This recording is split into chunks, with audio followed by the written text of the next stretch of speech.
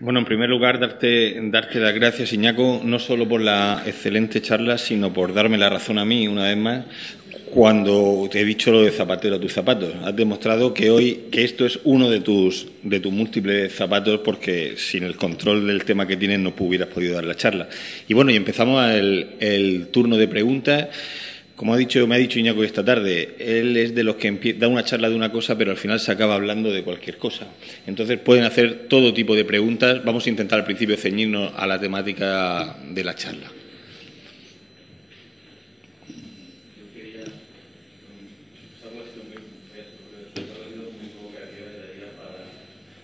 hacer preguntas de mucho tipo, como dice el moderador, pero quería pedirle un comentario sobre dos dos cuestiones. Uno, me ha sorprendido, seguramente como dice usted, la lista de pioneros históricos del pensamiento científico político. Podía haber, quizás no sobra ninguno, pero podría haber incluido alguno más. A mí me hubiera gustado, o me preguntó de usted a la figura de Darwin, con todo lo que supuso su teoría de la evolución desde el punto de vista no solamente del pensamiento científico, que ha sido una revolución sin precedentes, sino también desde el punto de vista moral, ético, yo creo que hasta político. Lo he echado de menos, probablemente está bien. Y luego, creo que usted también me enseñó, quería pedir un comentario sobre lo siguiente.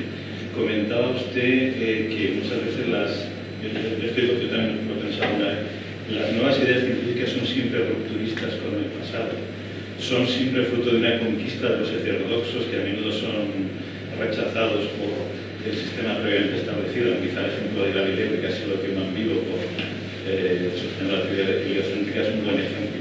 Y ahí hay un paralelismo quizá con la democracia, porque usted ha citado a los presidentes eh, americanos que combinaban esta faceta de política y ciencia, pero recordemos que, por ejemplo, el, el sistema americano después de una tremenda guerra de independencia con, con, la metrópoli, con Inglaterra, y eso es bastante común a muchas democracias, no sé si, se puede aplicar a la nuestra, que vienen después de un periodo de convulsión, de guerra, de oscuridad. No sé si quería hacer alguna reflexión sobre eso. Ah, muchas gracias por escuchar. Bueno, eh, Darwin. No ha estado por una razón muy sencilla, eh, porque no es un científico de la ilustración, nada más. Eh, porque Darwin eh, es un científico del siglo XIX, de todo, el, vamos. Entonces, eh, el contexto en el que él eh, hace su trabajo y desarrolla su, su teoría es un contexto intelectual muy diferente y político muy diferente. Ya la ilustración ha quedado atrás. Esa es la razón, no hay ninguna otra razón. Eh, en todo caso, para mí Darwin es... La gente suele, se suele decir que Newton es el gran científico. Yo tengo mis dudas precisamente porque para mí Darwin... Eh, bueno, es que la teoría de la evolución por selección natural es impresionante. O sea, si uno lo piensa, la potencia de la idea, o sea, y como usted ha dicho, eh, la influencia que ha tenido, la influencia filosófica que ha tenido, ha sido probablemente al menos tan grande como la, que tuvo la, pues las leyes de, de, la mecánica clásica, ¿no? O sea, al menos, claro, esto seguramente algún físico me dirá que ni hablar, ¿no? Pero, claro, yo biólogo, pues sí, para mí Darwin es, es un, un, un, monstruo, ¿no? Eh, podría seguir hablando de Darwin diciendo muchas cosas, porque es que es, un personaje muy interesante. Pero bueno, eh, vamos a tratar de darle un poco de dinamismo. Yo lo otro, lo otro no lo sé, porque a lo mejor sí.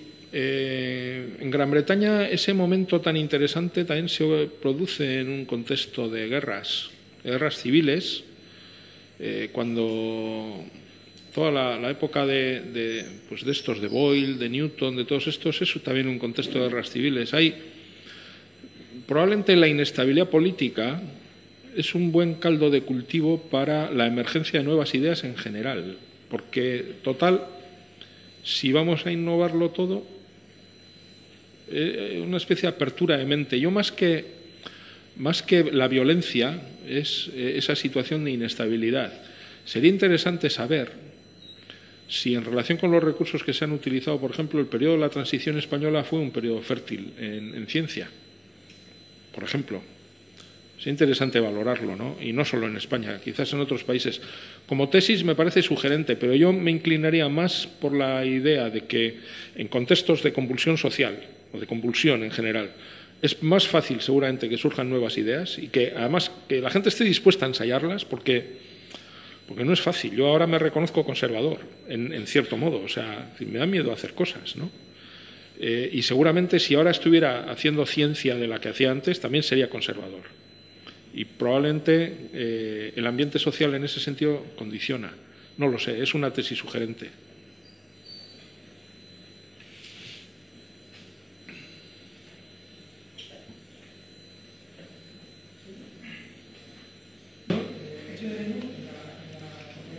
Que ha hecho en términos de desobediencia civil. Eh, asocio democracia a esto. ¿no? Yo creo que la primera dictadura entra en, eh, es cuando uno es pequeño, está en la, en la, en la familia. No me imagino a un hijo de Puyol o de un Mateos que, que, que salga diferente. Entonces, me, me, pregunto cómo ve la desobediencia civil dentro de, de, la, de, la, de la ciencia y qué con la no lo sé. No, vamos a ver, la desobediencia civil. Yo es que ya soy una persona bastante mayor. Entonces, eh, a mí la desobediencia civil es una cosa que me, suena a cosas que hacía cuando era joven. ¿no? Ahora ya no. No creo que ahora me pusiera a, hacer desobediencia, yo. Entonces esto ya me resulta un poco lejano. Eh, y no, no, lo veo, ¿no? No sé. No, no, no, no acabo de ver eh, no acabo de ver la relación. O sea, a lo mejor debiera verla, pero no la veo. Es que no. Enseñaba, por ejemplo, física recuerdo que me enseñaba que conforme pasaban eh, los años, unos iban, contra, se iban contradiciendo a los anteriores. ¿Los profesores? No, disculpe, los científicos, ¿no? Ejemplo, Darwin decía una cosa, luego llegaba otro y, y decía que era, no era solamente eso, era, mucho más siempre he visto que había un cierto grado de aceptar, por una parte, las normas que había en ese momento, pero como comentaba usted antes, ser, tener cierto grado de optimismo, como de aquello que aceptas, eh, puede no ser cierto. ¿no? Entonces, de alguna manera también desobedecer esa norma en la cual te, eh, estaba pasando. ¿no? Eh, por eso siempre he visto cierta relación, pero quería tener más ya, lo que pasa es que la desobediencia civil, yo, eh, yo a eso llamo, ya, ya, ya, ya, en general, bueno, eso es una especie de rebeldía, ¿no? Lo que usted está planteando es rebeldía, está hablando de rebeldía, de rebelarse frente a las nociones anteriores, establecidas anteriormente, ¿no? Eh, bueno, la ilustración se considera un movimiento rebelde, en gran parte, en su conjunto, con relación a lo anterior, ¿no? Y la, la llamada revolución científica es, eh, se supone que es eso, ¿no? Eh, porque cambia la concepción del universo, cambia la concepción de la materia, la concepción de los seres vivos y, surge el naturalismo, algo que, no había surgido previamente, ¿no? como filosofía también. Pero eh, yo me quedaría ahí, lo llamaría rebeldía. Lo de desobediencia civil es una cosa muy concreta. Desobediencia civil es, decir, no pago impuestos para la guerra, por ejemplo, o no voy a la mili. Es decir, ya son cosas, ya son formas concretas de rebeldía. O sea, no eh, que además conllevan incumplimiento de leyes, de normas. O sea, mientras que una rebeldía, la rebeldía se puede manifestar de otras formas, ¿no? No lo sé. Y luego la desobediencia civil es un, es un término en el que, a ver, esto ahora me voy a mojar en un terreno que no debiera. Eh, en el País Vasco, eh, durante muchos años se nos ha pedido también a las instituciones que hagamos desobediencia civil. Entonces yo he generado anticuerpos contra la desobediencia civil. Porque quien nos lo ha pedido, cuando ha gobernado, son los primeros que han bajado la cabeza. Lo puedo decir más alto. ¿Eh? Entonces, no, no, no sé si he sido suficientemente claro. Vaya. Bien. La importancia que tuvo la creación de la Royal Society en Gran Bretaña, no ya para la ciencia allí, sino por la, para el pensamiento científico de la sociedad. ¿Tenemos algo parecido aquí en España? Bueno, con otros países europeos. Luego se crearon las academias, Sí, eh, hubo un movimiento. A, ver, la Royal Society no es la primera sociedad realmente. ¿eh? Eh, antes de la Royal Society existió una academia, un grupo en Gran Bretaña, ahora no recuerdo la denominación, y estuvo en Italia, existió la Academia de los Lince, Lindsay, y había antes habido otra especie como de clubs. ¿no? O sea, lo que pasa es que la Royal Society ha sido la más importante sin ninguna duda y la que ha perdurado en el tiempo. Y luego, pero ya unos años después surgió la Academia de las Ciencias de París y se empezaron a crear academias en el resto de países, eh, también en España, pero ya yo creo que en España fue Carlos III el que impulsó la creación de distintas academias, porque fue el rey ilustrado por excelencia, ¿eh? no el único, fue Carlos III y su antecesor creo que también fue pero la, principal tarea de promoción del conocimiento y creación de academias le correspondió a él. O sea, sí las ha habido. Lo que pasa es que no han tenido ni, el impacto ni, bueno, ni la iba a decir, no sé cómo se dice la palabra renciedumbre, ¿cómo es? No sé, raigambre, ¿no? No, sé cómo decir, de, la Royal Society. La Royal Society es, en ese sentido es muy especial. ¿Por qué? Bueno, pues porque los ingleses son muy especiales. O sea, eh, yo en esto soy, me confieso anglófilo, soy admirador del Reino Unido y de la manera en la que ha funcionado a lo largo de la historia y yo creo que esto de que la ciencia y la democracia nacieran allí no es casual, o sea, es... El otro día oí una, atendí una, en, una, en una clase a la que voy, una tesis muy sugerente que yo no conocía de un sociólogo de la ciencia, Merton, que sostiene que, que la ciencia debe su nacimiento al puritanismo. Eh, solo lo oí así en esos términos, lo tengo que leer porque me generó una verdadera desazón. O sea, tengo que ver exactamente en qué consiste el argumento, me pareció muy interesante, pero bueno, no sé, yo he estado, yo he trabajado en el Reino Unido, quiero decir, he trabajado, he hecho ciencia allí, o sea, he estado con investigadores eh, británicos y dices, ¿por qué en Gran Bretaña? Es que si has estado trabajando, yo digo que como he estado trabajando con ellos, sé cómo les funciona la cabeza y no me extraña que hayan creado la Royal Society. O sea, los británicos la cabeza les funciona con una, esto que decía antes del optimismo, ellos son hiperoptimistas, o sea, hacen un experimento, sacan unas conclusiones y ¡pum! Ahora sabemos tal cosa, lo dicen con una seguridad que asusta, porque eh, cualquiera de nosotros pensaría, tengo que volver a hacer otro experimento por si acaso, tal, no sé qué estos en ese sentido son tremendos, ¿no? La confianza que tienen en el poder de la ciencia para obtener conocimiento, yo no la he visto a nadie más. He trabajado con franceses, los holandeses se les parecen, con, alemanes, con británicos, con portugueses y italianos, como los ingleses, y la importancia que tienen los centros de investigación allí, ¿no? Yo y la importancia social que tiene el, científico. Yo la primera vez que fui a Gran Bretaña, no, la segunda o la tercera, estábamos buscando un apartamento para poder estar allí una temporada. Y me acuerdo que eh, llamaba por nosotros, porque todavía nos arreglábamos mm, no suficientemente bien en inglés, llamaba por nosotros un investigador de allí, ¿no? Y al, al dueño del flat, o al, quien fuera, ¿no? Y le decía así, le llama el doctor tal, y los clientes son el doctor tal y el doctor cual. O sea, y claro, éramos el doctor tal y el doctor cual, o sea, no éramos fulanito de tal y no, no, no, no. O sea, el título de doctor asociado a la actividad científica tiene una consideración social que aquí nos daría la risa. Pero eso que llevamos perdido, claro. Entonces, ¿por qué Gran Bretaña? Pues yo creo que porque sí. No sé, es que perdona la respuesta así, pero porque son así. Esto no, no lo debiera decir un científico, pero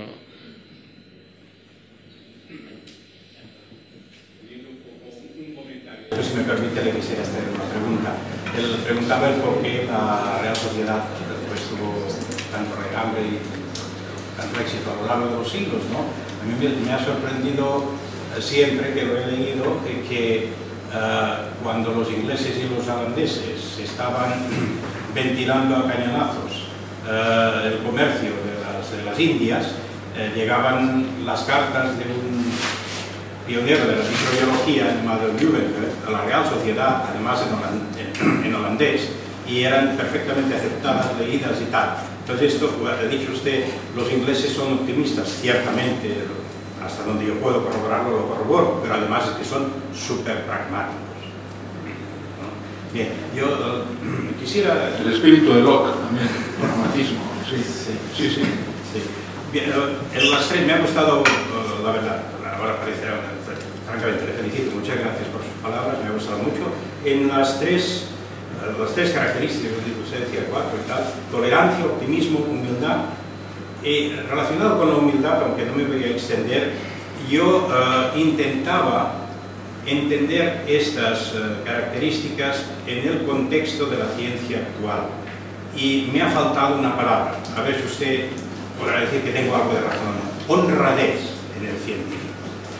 Actualmente creo que eso también lo ha traído un poco, no todo, pero un poco la globalización, la presión, la competencia.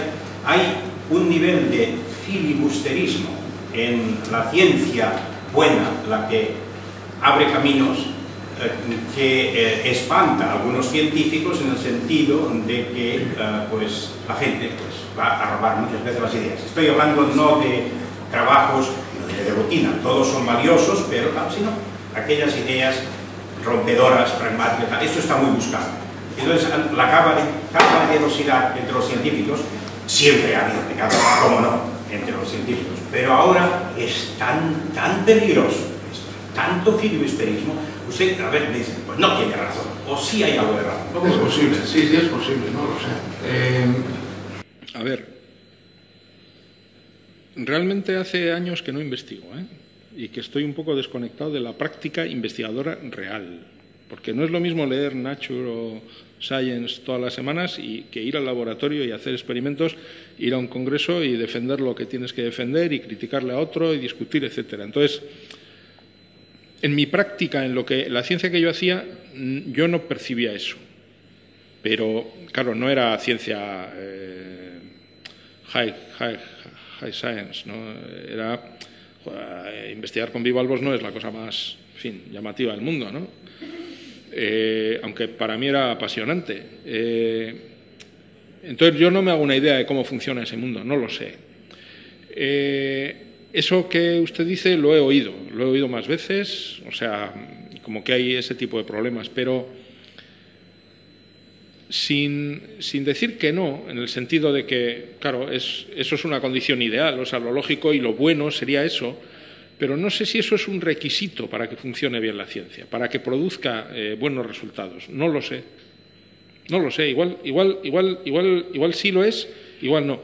Y en todo caso, me pregunto, y también me pregunto, si, si, siendo, si fuera que sí, probablemente, no sé si eso tiene una correspondencia en lo otro, en lo de la sociedad democrática, en un buen funcionamiento de la sociedad democrática. ¿Hay filibusterismo en, en la sociedad democrática? Ese filibusterismo que usted eh, dice que hay en ciencia, que, que lo habrá, eh, no digo que no, eh, tiene, un, un, un, tiene su reflejo, su contraparte, su equivalente, mejor dicho, en, en la sociedad democrática. ¿Está preguntando? sí, sí, sí, no, no, Muy bien, sí. Muchas gracias. Es que no sabía si acababa preguntando. No, no, no, no, no. Bueno, pues uh, lo primero que diré es que no lo sé porque no soy político en acción. ¿eh? Uh, de todas maneras, si fuera político en acción, mm, de lo que más o menos uno ve que hay por ahí, si viera por ahí a un adversario que tiene una idea maravillosa, pues si pudiera me daría mía. Pero eso no es malo, ¿no? ¿Eh? Bueno, Eso- pero eso no es malo. En política, Digo, en política no en malo. política diría, hasta me atrevería a decir que no, pero déjeme poner un ejemplo de ciencia para, para concretar lo que quería decir y así quizá nos entendamos mejor. Eh, en- bueno, es- esto ocurre mucho en- en los congresos, pero también en publicaciones. ¿no? Las publicaciones deben de ser revisadas, usted lo ha dicho, tienes que estar preparado para que te revisen lo que has dicho, y claro que sí, es esencial, absolutamente esencial, ¿verdad? Pero, eh, claro, eh, que te revisen si has sumado, multiplicado o dividido bien. Esto lo acepta cualquiera. No se necesita ser muy humilde, ah, esto lo aceptas. Pero cuidado, cuando se manda un artículo a revisión que lleva unas ideas rompedoras en un campo de la ciencia, que abren nuevas perspectivas y que hay muchísimas cosas detrás, eso es peligrosísimo, porque se ha eh, comprobado más de una vez que aquel artículo incluso a veces es rechazado y después aparece la ciencia hecha directa y indirectamente por los mismos que la han revisado. Este tipo de cosa tan desagradable que siento haber puesto en la mesa es a lo que yo, yo me refería. Sí, yo también he oído hablar de eso. Eh, no digo que no se haya producido, se habrá producido. Mm, pero bueno, esto a mí me remite a, un, a algo que es, no sé, eh, otro tipo, otra consideración. Es que el sistema peer review necesita, un, a su vez, un, una revisión. O sea, yo creo que hay mucha crítica en relación con cómo funciona el sistema, no solo por esto, sino por otras bastantes razones. Y probablemente es un sistema que en, un plazo quizás entre en crisis, no lo sé. Eh, y haya que eh, introducir cambios sustanciales en la manera que funciona. Y, hombre, para resolver ese problema deben estar los congresos, ¿no? Quiero decir, porque una vez que uno expone en un congreso una de estas ideas rompedoras que abren caminos, si ya tiene preparado el paper, es el momento de decir, yo lo presento allí y la idea es mía. Y si luego otro mm, resulta que publica aquella idea, lo he pillado, porque primero lo dije yo. No sé, se me ocurre que esta puede ser una, solución. ¿no? En todo caso, es una práctica, si se produce efectivamente, es absolutamente deleznable, no sé. Pero no tiene paralelismo en el mundo de la política, porque ¿qué más quisiéramos que los políticos copiaran las buenas ideas? ¿No? Yo cuando, es que hay veces que eh, yo lo he visto en el País Vasco, y dice, Joder, fulano está diciendo lo mismo que decía hace un mes. Ah, oye, pues apláudele, ¿no? No lo critiques. Que lo he visto así, o sea, anda, pues qué bien, ¿no? No te deberás quejar, en todo caso le podrás decir que es un incoherente. Pero apláudele por haber, eh, por haberte copiado la idea.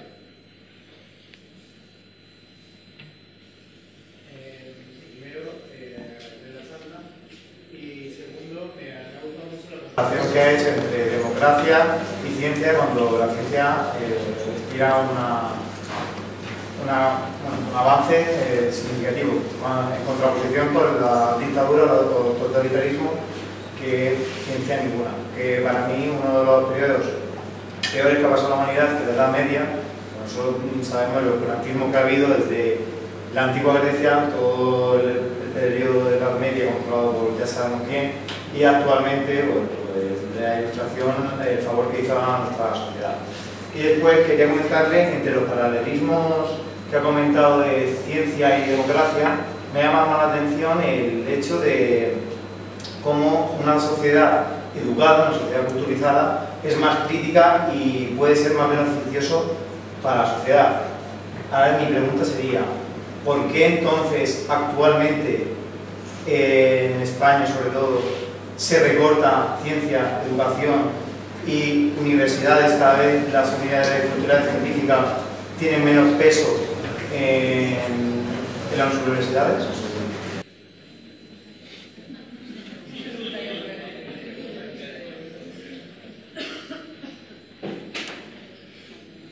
Bueno, vamos a ver. Eh, esto no hay, lo que yo he dicho tampoco hay que tomárselo como una, eh, una ley, ¿no?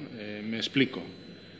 Eh, eh, en otra ocasión que yo defendía esta tesis, alguien me dijo, mira, Alemania, Alemania una sociedad culta, moderna, la gente estaba bien formada y llegó Hitler al poder. Y mira la que prepararon. ¿no? Y es verdad, quiero decir que eh, seamos también cautos con estas cosas. ¿eh? Os ha dicho, la, la, educación es condición para la sociedad crítica, etcétera. Eh, y esa es una afirmación que hay que, hay que relativizar. ¿no? O sea, yo la defiendo. ¿eh? Bueno, lo otro es una cuestión de la política, de la coyuntura política en la que vivimos. ¿no? Yo, es un terreno en el, del que no me gusta opinar. No me gusta. A ver, Yo escribo de política cada 15 días, o sea que mis posturas políticas son bastante conocidas, no, no tengo demasiado, no tengo nada que ocultar. ¿no? Lo que pasa es que no me gusta eh, estar hablando aquí de ciencia y democracia y, pasar a hacer una crítica concreta de, de, las políticas que se hacen, ¿no? porque, pues hombre, yo no soy, a mí no me gusta lo que está pasando, ¿no? No me gusta. Es decir, yo eso lo digo claramente, no, no estoy de acuerdo con que eh, se recorte en educación, en ciencia, sanidad, etcétera, pero yo he sido rector y he sido criticado en el ejercicio del cargo. Y se me ha criticado hacer ciertas cosas y no hacer otras.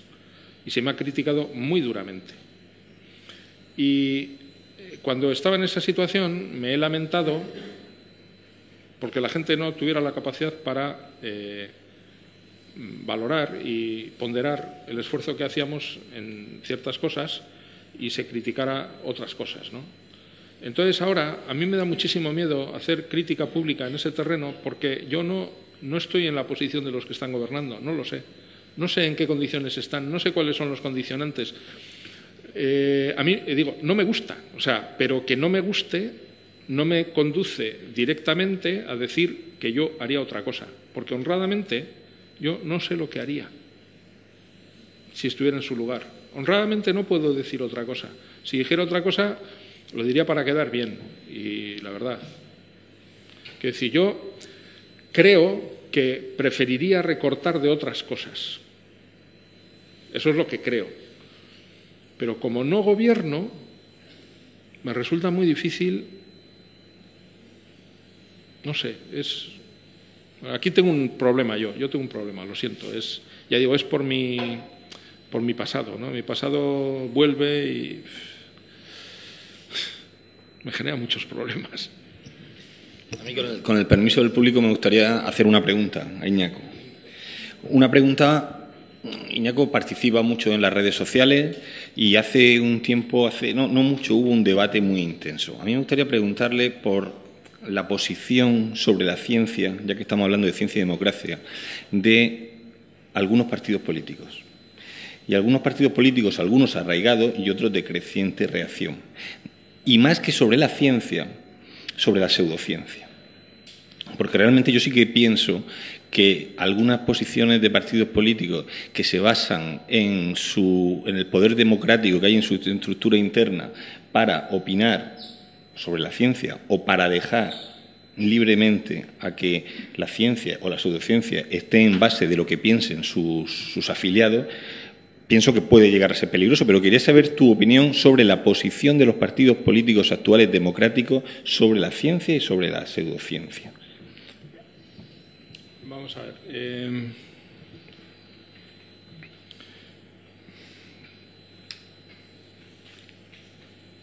yo creo que eh, en términos generales a los partidos políticos habría que pedirles en las en aquellas propuestas en las que hay una componente científica hay que pedirles racionalidad. Eh, pero hay que comprender también, y aquí vuelvo un poco a lo que acabo de responder, hay que comprender también que quien está en un partido político tiene una motivación que no tiene nada que ver con la que tengo yo. ¿no? O sea, eh, y tiene que tener en cuenta valores y tiene que tener en cuenta principios y objetivos e intereses que son distintos de los que defiendo yo y de los que defiendo yo como científico. Dicho de otra manera, es comprensible que quieran votos. Eh, y entonces uno tiene que ponderar todo eso a la hora de, yo a la hora de criticarlos, ¿no? Yo eh, me gusta exigir racionalidad, pero, mm, pero no soy excesivamente duro cuando, cuando la pierden, por así decir, ¿no? Voy a poner un ejemplo.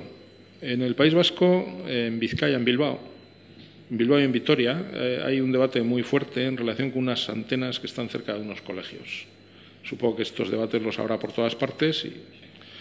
Entonces, eh, esto es muy curioso porque yo hablo con los parlamentarios de diferentes partidos y, me dicen, no, no, esto no tiene ni pies ni cabeza, la consejera de Educación en el País Vasco es química y es amiga mía, o sea, decir que es amiga mía porque estuvo en mi equipo rectoral, o sea, entonces yo muy bien con ella, yo sé muy bien lo que piensa, pero no ha desautorizado completamente a, a los movimientos de asociaciones de padres que demandan que se quiten esas antenas. O sea, ¿por qué? Porque ha habido una resolución unánime en el Parlamento Vasco, unánime en el Parlamento Vasco, en el sentido de que se tenga cuidado con estas cosas. ¿no? Y se invoca el llamado principio de precaución. ¿no? Entonces, uno, eh, yo como soy consciente de eso, yo no, doy una batalla, pero doy una batalla, vamos a decir, intelectual, pero prefiero no hacer demasiada sangre con el asunto, porque al final no consigues mucho. O sea, eh, acaba siendo estéril el resultado. O sea, tú dices, esto es una locura, es irracional, no tiene pies ni cabeza, ¿y qué consigues con eso? Tener a un montón de gente en contra. O sea, prefiero trabajar a más largo plazo, tratando de convencer de que esto no es así, de tal. Bueno, yo tuve una polémica pública con Echenique, el, científico de Podemos. Eh, la tuve en, materia, en, materia, en materia.es, en, el medio este digital, ¿no? Porque Echenique había escrito que, aunque él entendía que ciertas propuestas de su formación no tienen base científica, pues él entendía que si eso era lo que la militancia defendía, pues que, adelante con ello, o sea, que él eh, se plegaba a lo que dijera la militancia, ¿no? Eh, los participantes en las asambleas. Yo lo que le critiqué a Echenique no era que Podemos tuviera eso en su programa, que no me gusta que lo tenga, pero es el programa de Podemos, no es el mío. O sea, ya, ustedes, o sea, para mí es lamentable que ustedes digan que, van a hacer esto y aquello y lo más allá, pero bueno, en el terreno de la política todos los partidos tienen en sus programas cosas que me parecen lamentables. Unos más y otros menos, todos. A mí lo que me parecía mal de, Chenique es que estuviera dispuesto a defender en los órganos legislativos en los que él eh, participara posturas contrarias a sus convicciones. Esto es lo que a mí me parecía criticable. No que Podemos lo hiciera, sino que lo hiciera él. Pero no es lo mismo. Quiero decir, que políticamente un partido decida que por razones políticas interesa defender que hay que prohibir no sé qué. Oye, yo entiendo, eso lo entiendo, no me gusta, pero lo entiendo. Lo entiendo porque obedece a una lógica política del partido ese. Pero que el representante concreto que es científico, más que nada por el ejemplo que da, es que ¿qué ejemplo estás dando como científico al conjunto de la sociedad con relación al valor que tiene lo que tú, la actividad que tú desarrollas? ¿Qué credibilidad tiene esa actividad? Si estás dispuesto a sacrificarla en el altar de la, de la, de la representación, de conseguir esa, esa, representación política. A mí eso es lo que me produjo verdadera, eh, verdadero rechazo y es la razón por la que yo debatí con él eh, en, las redes. ¿no? Eh, lo otro me resulta más complicado y yo, bueno, he escrito cartas al periódico, en fin, se montado unas broncas de mucho cuidado también a los, allí, a los parlamentarios. Conozco parlamentarios de todos los partidos en el País Vasco, o sea, y, a todos les he dicho que son unos cafres, pero es que es muy difícil adoptando ciertas resoluciones. Pero ya digo, el, tipo de motivaciones que funcionan en política a los que no vivimos en ese mundo nos resulta muy difícil de comprender. Y yo no me gusta juiciar demasiado eso. No, no, no me pasa un poco como con lo de los recortes. A mí no me gustan los recortes, pero es que. Y, luego hay. A ver, es que, es que si me meto, me meto del todo. Ese es el problema. O sea. Eh, con los recortes pasan dos cosas, y ya voy a decir lo que pienso. Eh, para mí hay cosas que son sagradas. ¿no? Hay cosas que son sagradas. Hay, eh, es que es sagrado. Por la dignidad humana es sagrada. La dignidad. O sea, tú no puedes permitir que una persona que es, forma parte de tu comunidad pase hambre. No sé, esto es inaceptable, de todo punto de vista. O sea, eh, y estoy convencido de que recursos eh, para resolver esos problemas de extrema necesidad. O sea, lo que es. Eh, a la gente no se le puede dejar tirada. ¿no? Esto para mí es un principio absoluto, de, simplemente de dignidad social. O sea, yo creo que me avergüenzo de vivir en una sociedad que puede ser capaz, me avergonzaría, no sé hasta dónde llega. También es verdad que las cosas en Euskadi se viven de una forma un poco diferente, porque allí la crisis ha tocado menos, esto es cierto. Eh, hemos estado un poco amortiguados por el peso de la industria y tal, ¿no? que ha aguantado relativamente bien. Ahora tenemos mm, recuperación también más lenta, ojo, ¿eh? o sea, no. Pero entonces yo no, no he, leído cosas, he oído, dice, pues tal, en Cáritas, a Cáritas va más gente, o sea, a mí eso es, eh, eso es una cosa que como sociedad yo me avergüenzo de vivir en una sociedad que no sea capaz de resolver ese problema básico y fundamental. ¿no? Pero luego hay otros gastos donde yo sí creo que se puede ahorrar. y que a veces hacemos críticas que son demasiado generales, demasiado eh, inespecíficas en relación con gastos donde yo creo que sí se puede ahorrar. Y lo digo con conocimiento de causa, porque es que he sido rector. Entonces, yo sé que hay casos, cosas en las universidades, cosas en las que se puede ahorrar, y sé que hay cosas donde no se debe ahorrar. Entonces, cuando la crítica es inespecífica a recortes, no me gusta. Simplemente eh, quiero que se concrete mucho más y quiero que cuando se concreta se diga de dónde hay que sacar el dinero.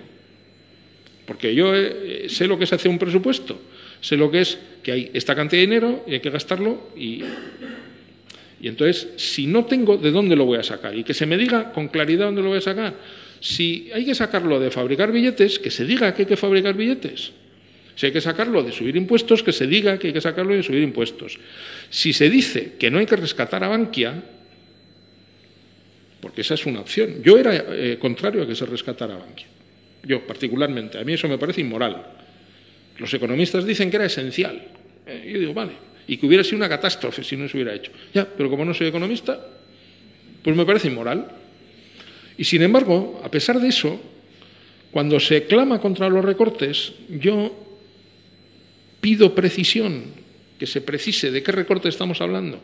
Porque si en una escuela hay aulas con 12 niños por aula, yo creo que puede haber 18 niños por aula. Me explico, o sea, en Euskadi se está financiando un porcentaje muy alto del gasto de la escolarización de 0 a 3 años. Somos líderes mundiales en escolarización de 0 a 3 años y no sé por qué. Y no sé por qué. Y cuando alguien dice, no, es que no quiero recortes, depende, a lo mejor de aquí hay que recortar. ¿Por qué? Porque prefiero que alguien no pase hambre. Porque ese que pasa hambre a lo mejor está generando un problema educativo muchísimo más grave que el que resuelvo gastando el dinero en un ciclo cero tres años. Quiero decir que cuando hablamos del uso de alternativo de los recursos económicos, hay que, no hay que frivolizar. O sea, yo eh, me explico. Entonces dices, pues esto requiere un. Eh, lo malo de la política es difícil, es muy difícil.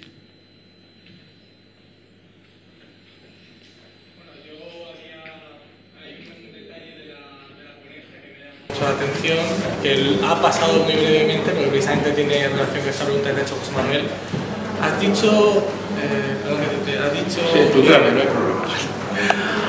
Has dicho que el, has hecho un comentario sobre el marxismo eh, acerca de que no tiene una base científica o no, o no es, no es puramente científico. No es científico. No es una Entonces, mm, por un lado quería si podías hacer un comentario un poco más, sin, imagino que puede dar para una charla por sí solo, pero algún comentario, una pincelada un poco más de por dónde van los tiros y sobre todo si tiene una relación que mucha, mucha gente cree que el marxismo es una alternativa viable y además con, con una cierta base, y que además sea gente que también apoya las alternativas pseudocientíficas que, que se han mencionado un poco antes.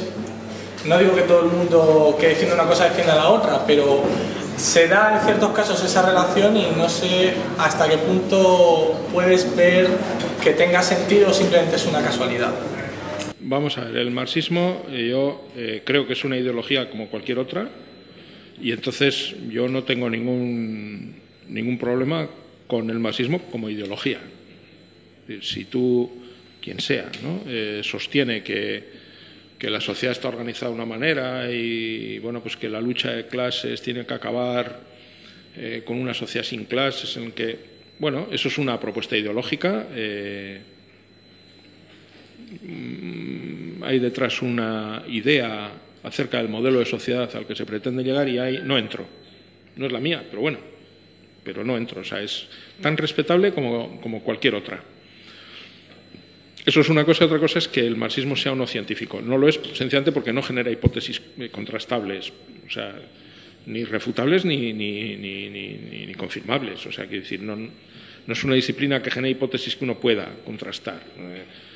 Esto es una cosa que yo creo que además le preocupó mucho a Popper precisamente porque, y, y mucho de lo que él eh, hizo desarrollando la idea de conjeturas y refutaciones era precisamente porque era una buena manera para él, y yo creo que sí, de, refutar la, idea de que el marxismo era una ciencia.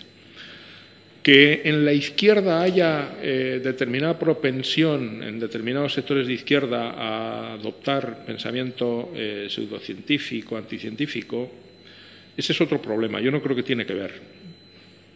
Y tiene que ver con eh, algo que además acabo de escribir yo en en Next, en el suplemento este que tienen en Voz Populi de, ciencia que lleva Antonio Aberrón, eh, acabo de escribir una cosa donde explico que, eh, pero no es la izquierda, o sea, la derecha tiene unas, una serie de debilidades y la izquierda tiene otras, y obedecen a, motivos ideológicos en todos los casos. Eh, sesgos anticientíficos. Entonces, ¿la derecha ¿qué, tiene? Bueno, pues la derecha, por ejemplo, la derecha norteamericana clarísimamente es creacionista. Eh, en Europa es distinto porque como hay más católicos, los católicos no son, tienden a ser menos creacionistas que los protestantes, porque, porque los protestantes, eh, uno de los rasgos de los protestantes es que eh, están todos ellos capacitados para, para acceder a, la, a, las lecturas, a los libros sagrados y por lo tanto a tener una relación directa con ellos y, y, no están autorizados a interpretarlos, los tienen que entender tal y como lo que pone allí. ¿no? Entonces, el catolicismo no, porque el catolicismo quien interpreta es la Iglesia y quien interpreta el sentido de los textos es la Iglesia. Entonces, la Iglesia en ese sentido actuado con cierta flexibilidad por comparación con cómo han actuado estas, eh, estos otros credos. ¿no? Y entonces, entre nosotros, el creacionismo es mucho menos. Eh, es un fenómeno mucho más limitado. ¿no? Hay creacionismo en, el mundo católico, pero es más limitado que en el mundo protestante. En el mundo musulmán también lo hay y es, es fuerte. ¿eh?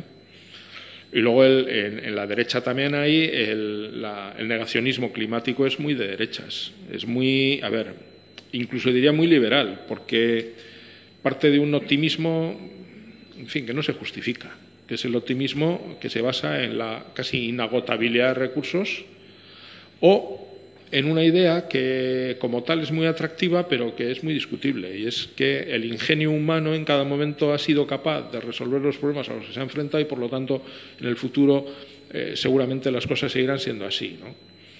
Eh, esta es la idea que subyace a la negación de que, va, de que hay un problema. En general, problemas de carácter ambiental, no solo cambio climático. O sea, eh, en general, el, liberalismo tiene esa debilidad, cierto liberalismo, sobre todo cierta derecha.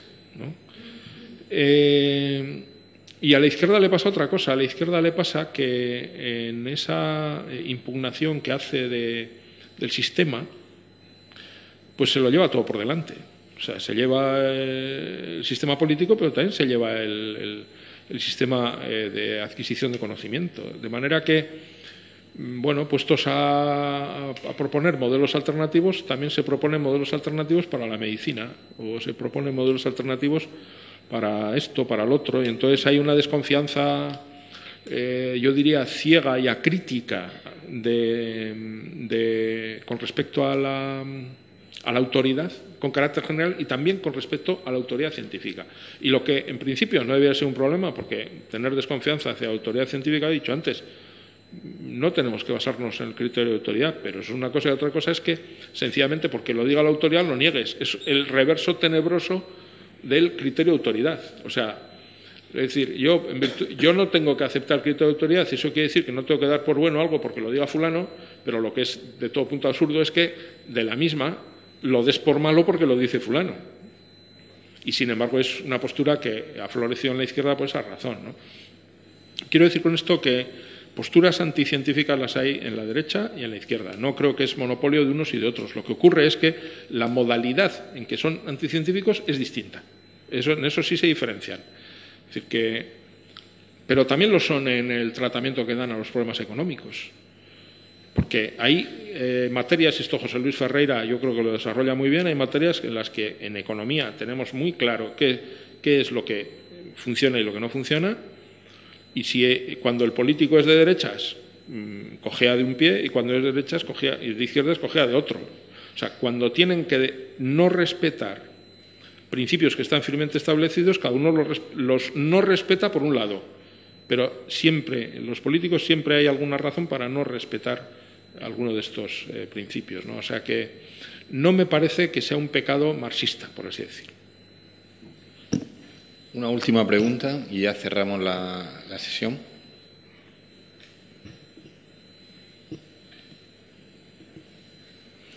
Bueno, pues si no, si no hay más preguntas, vamos a cerrar ya la jornada. Quiero, antes de concluir, decirle que afortunadamente en los últimos tres o cuatro años he podido participar en, en muchos eventos de divulgación y les puedo asegurar que tanto la charla de, de Iñaco como el posterior turno de preguntas ha sido uno de los momentos más intensos, con los que más he disfrutado.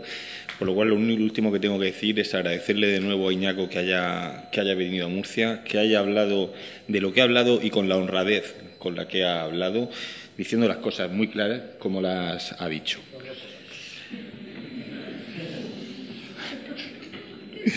Y nada, y, y antes de, de acabar, citarles de, para decirle que esto es un, una, es un ciclo de charlas que organiza la, Asociación de Divulgación Científica de, la región de Murcia. ¿Vale?